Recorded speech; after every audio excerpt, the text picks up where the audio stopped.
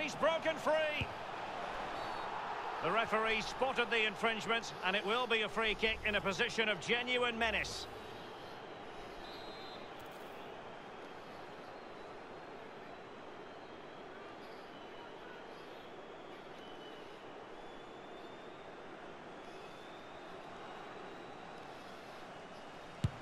And a long way out.